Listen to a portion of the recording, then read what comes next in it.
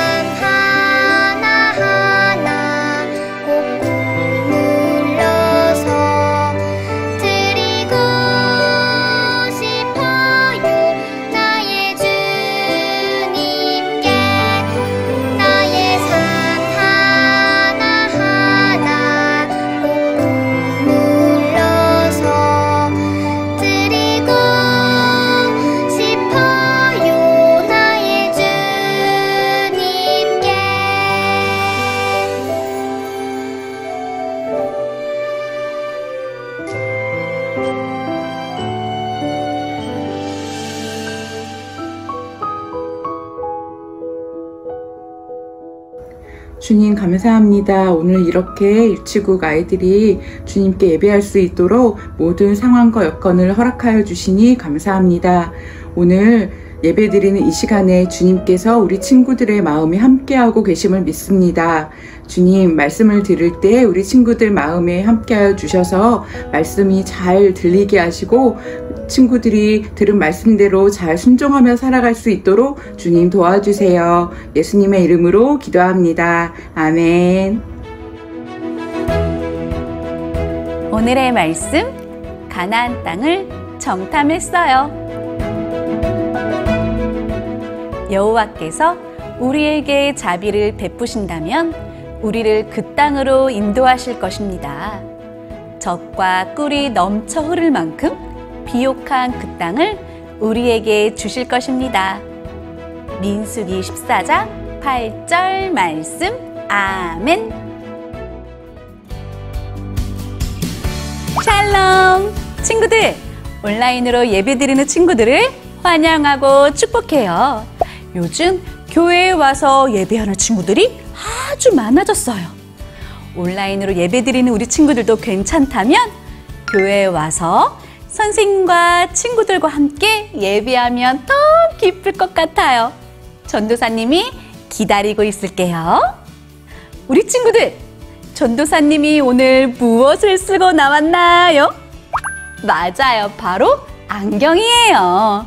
안경은 잘 보이지 않는 것을 잘 보일 수 있도록 도와주는 역할을 해요. 나이가 많으셔서 글씨가 잘 보이지 않는 할머니, 할아버지나 공부하는 언니, 오빠가 안경을 쓰지요. 안경은 이렇게 잘 보일 수 있도록 도와줘요. 그런데 오늘 말씀에 나오는 이스라엘 백성들에게도 안경이 필요한 것 같아요. 글씨가 잘 안 보이는 걸까요? 우리 같이 말씀 속으로 들어가 볼까요? 슝슝슝! 하나님께서 말씀하신 약속의 땅으로 가기 위해 여행을 시작한 지 2년쯤 되었을 때예요. 이스라엘 백성들은 하나님께서 약속하신 땅 가나안 앞에 도착했어요. 우와, 드디어 가나안 땅이다. 이스라엘 백성들은 가나안 땅을 보니 마음이 두근두근 거렸어요. 그때 하나님께서 모세를 부르셔서 말씀하셨어요. 각 지파에서 한 사람씩 열두 명을 뽑아 내가 너희에게 줄 그 가나안 땅을 정탐하고 오너라. 모세는 가나안 땅을 정탐할 열두 명의 사람을 뽑았어요. 그 사람들 중에는 여수아와 갈렙도 있었어요. 모세가 정탐꾼들에게 말했어요. 여러분, 저 가나안 땅을 살펴보고 오세요. 그 땅이 어떻게 생겼는지, 그곳에 사는 사람들은 강한지, 약한지, 또 살기 좋은 땅인지, 아닌지 살펴보고 오세요. 돌아올 때는 그 땅의 열매도 가지고 오세요. 12명의 정탐꾼들은 살금살금, 살금살금 가나안 땅에 들어갔어요. 그런데 정탐꾼들의 눈이 휘둥그레졌어요. 그 땅은 정말 좋은 땅이었어요. 아주 큰 포도, 무화과, 석류 등 여기저기 큰 과일들이 주렁주렁 맺어 있었어요. 여호수아가 말했어요. 바로 이곳이 하나님께서 주신다고 약속하신 땅이에요. 정말 기대가 돼요. 하지만 다른 정탐꾼이 말했어요. 아니에요. 저기 좀 보세요. 이곳에 사는 안악 자손들은 정말 고인 같아요. 우리는 저들과 싸워서 이길 수 없어요. 이 땅을 차지할 수 없을 거예요. 정탐꾼들의 눈에 보이는 모습들로 인해 하나님의 약속을 믿지 못했어요.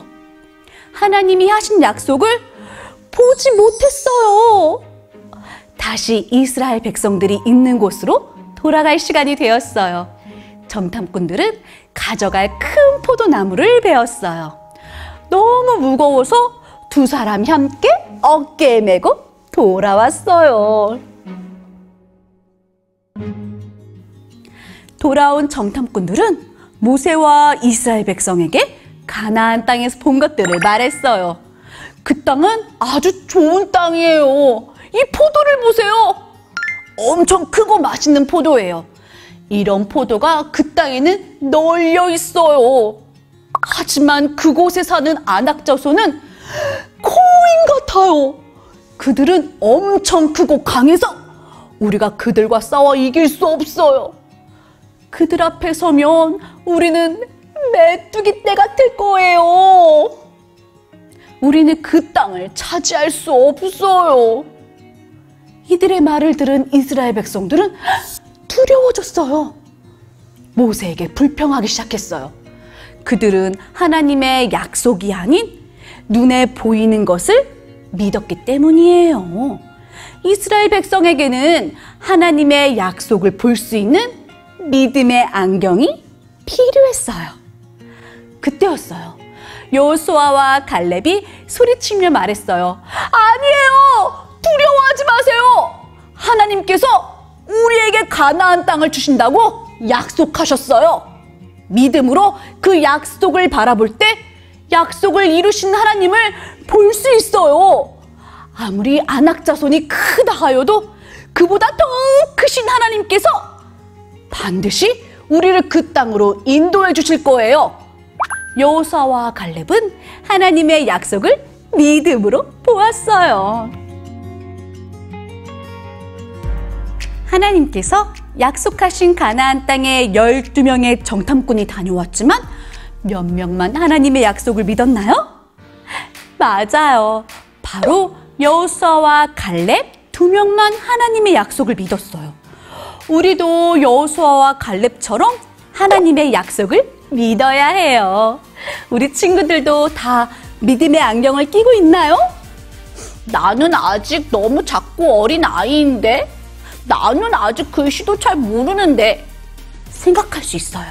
하지만 하나님의 약속을 믿는 믿음의 안경을 껴보세요. 약속을 이루시는 하나님이 보이시나요? 믿음으로 하나님을 바라볼 때 하나님께서 우리에게 약속하신 일들을 이루실 것이에요. 우리 친구들에게 약속하신 일들을 이루시는 하나님을 만나게 될 거예요. 우리 그런 친구들만 다 같이 기도해 볼까요? 다 같이 두 손 모으고 두 눈을 감고 기도하겠습니다. 사랑하는 하나님, 감사합니다. 여호수아와 갈렙처럼 우리도 믿음의 눈을 들어 하나님의 약속을 바라볼 수 있게 도와주세요. 하나님을 믿을 때 우리를 통해 일하시는 약속하신 일들을 이루시는 하나님을 만나게 되게 도와주세요. 예수님의 이름으로 기도합니다. 아멘. 지금부터 찬양하며 하나님께 헌금을 드려요.